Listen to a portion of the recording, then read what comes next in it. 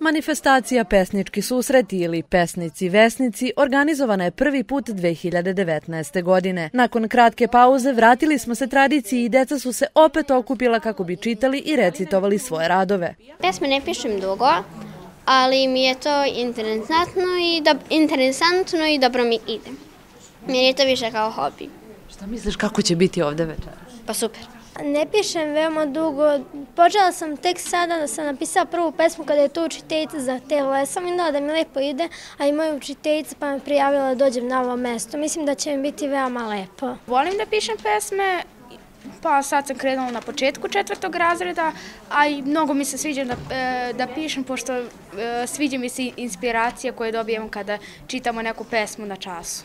Ova manifestacija predviđa sjajnu budućnost u misiji širenja lepe reči, negovanju jezika, tradicije, ali i stvaranju novih prijateljskih veza među decom. Videli smo da postoji veliko interesovanje kod dece.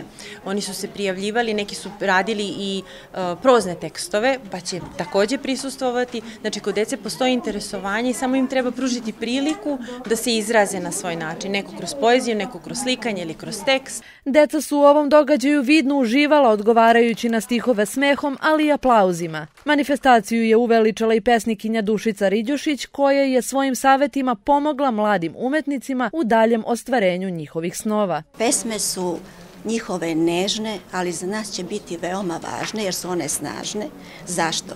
Zato što pesme u trenucima tuge, sreće ili sete na pravo mesto slete i pomažu nam da sreću doživimo, a sve ostalo da lakše preživimo.